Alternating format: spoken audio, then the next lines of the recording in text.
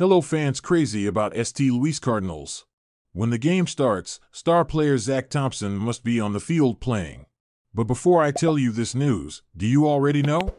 Already subscribing to the channel, activating notifications. West Palm Beach, Florida, taking the chance to mingle with the starting pitchers during Grapefruit League games, young lefty Zack Thompson came equipped with a question for each of them.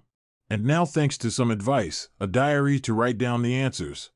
Know who you are as a pitcher, accept who you are as a pitcher, and stay true to that, Thompson said, recalling Matz's response. You don't have to change who you are.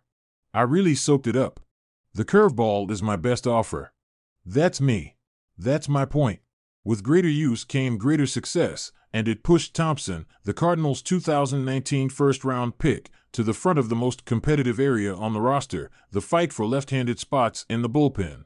Thompson's curveball, her power on any count, and how she plays against his 90 km per hour fastball was key, Coach Oliver Marmol said as well as left-hander Packy Naughton's peak velocity in his slider, left-hander Andrew Suarez's deceptive delivery, and left-hander Anthony Misiewicz' closed spring and slugging pitch kept them in the competition.